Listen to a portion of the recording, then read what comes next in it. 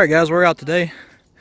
Clayton and Tristan got a big hole going over here. I've kind of separated off in another little smaller hole.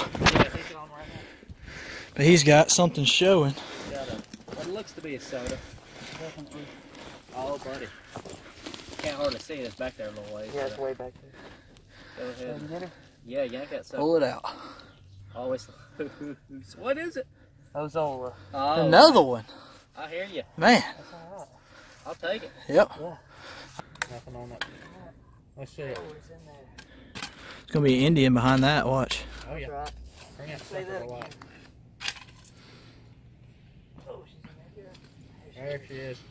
Hey, leave it down there. My last one pinged. Yeah, it did. It's alright. Well, good deal. Good ball right there. Good ball. They're hard to dig. Oh, yeah. All right, we'll get back with you. Oh, no, that's pepper sauce. There's that one. What you got? Birmingham? Solid. Chunk it up here. Let me see what variation it is. Say root on the bottom.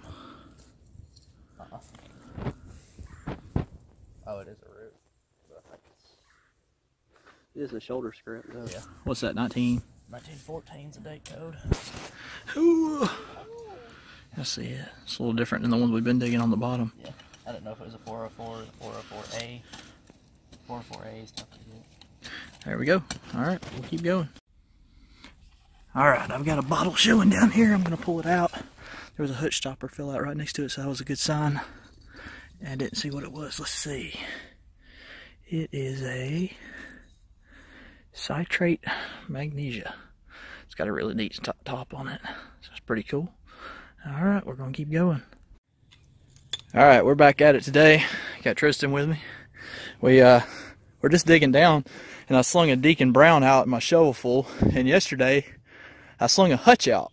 So apparently, I'm taking too big of shovelfuls because I'm going to sling something good out if I'm not careful. Uh, I slowed down a little bit, and I've got this showing down here. It's another hutch. It is going to be an Alabama or a Birmingham. Pull it out. Alabama Bottling Works. There's your top. It's in good shape. Got the eagle on the back. All right, we're gonna keep going. The hutch I pulled out while ago is right here. Y'all can see the print in the dirt.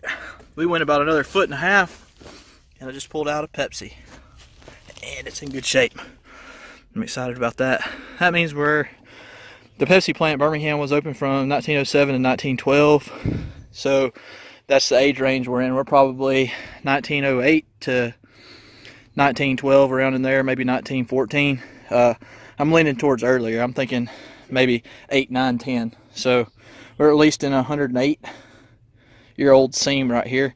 And we're just getting to the bottom. We thought we were at bottom and we weren't. And uh, there's a really hard layer. And that Pepsi came out of that hard layer. So we're going to go a little bit lower and see what else we can come up with. We're getting on down there now. Tristan's about to pull one out. I know he is. I pulled this one out. They're pretty common, but it's pretty neat. Kilmer swamp root, kidney, liver, and bladder remedy, which is pretty neat. It looks good. I hit it with a shovel and felt it and got off and just kind of pried around on it because I knew it was a, a medicine. I thought it was going to be like from New York or something. But uh, yeah, it's pretty neat. I'll take it for sure. But uh, we're still not quite there to the bottom. We really haven't started channeling to the side at all. We've just been going straight down and pulling pretty good bottles out. So uh, I have a very good feeling that we're going to find a few more for sure. But we'll get back with you in a minute. Tristan's got one showing down here. Looks like it might be a Raola. We'll find out.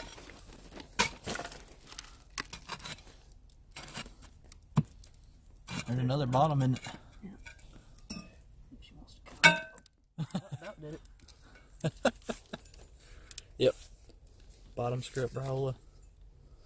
Still an older bottle. It's like the older bottles are riding a little higher. For real. That's alright though.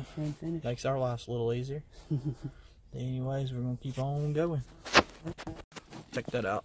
That was a bottom. That bottom we thought that was next to that bottle was actually an ink. Nice little cone ink. So that's nice. All right, we'll keep going. All right, Tristan's got a bottle exposed right here, and there's a, looks like an insulator top right there. We're gonna dig them both out live and see if they're any good. We've also got a wall that's getting a little sketchy. It's doing what I call creeping.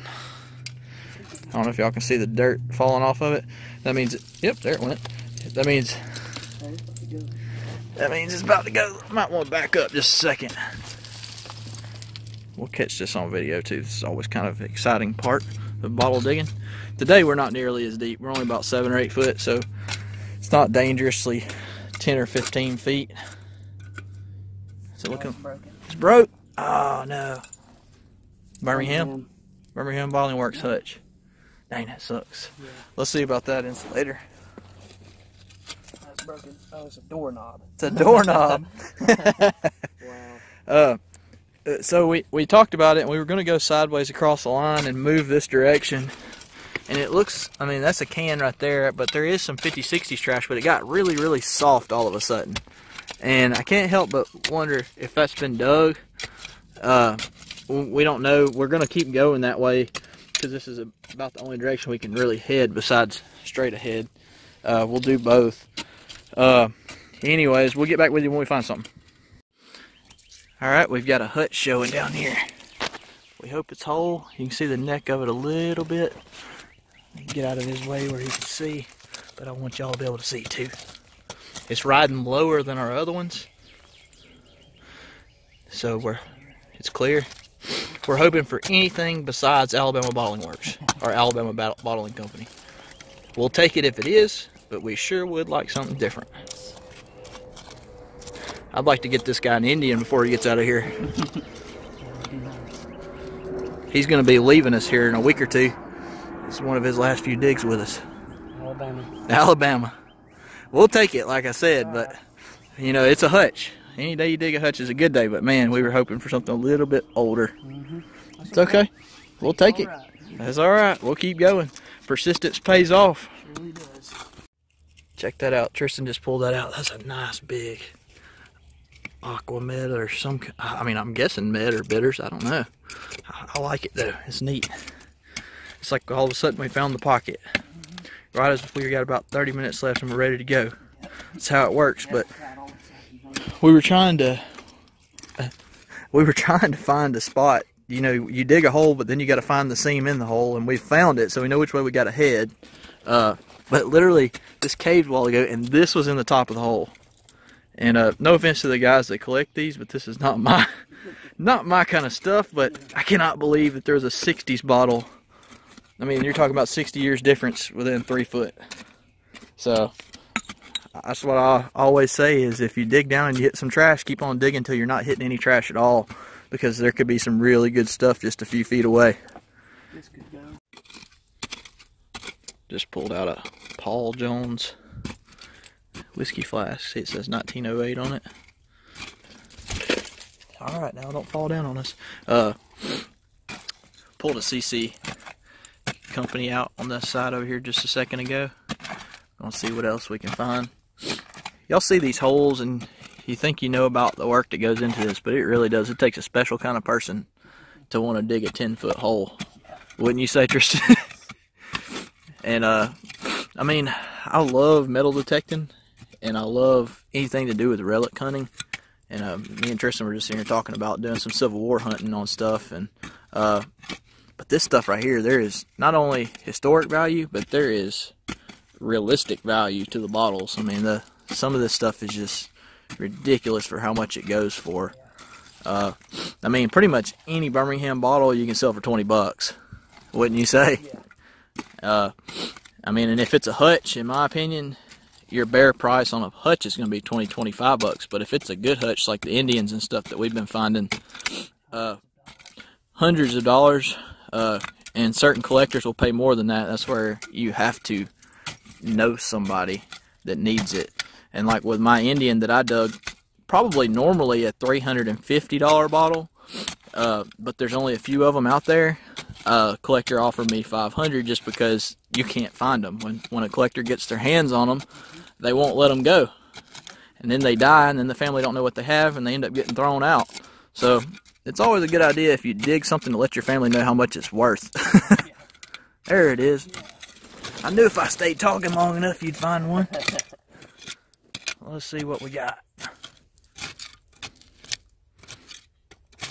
Just say no to Raiola. Maybe Alicola. Oh, there's another one. I love how they stack, man. Top broke on that one. Maybe that means the soda's whole, right?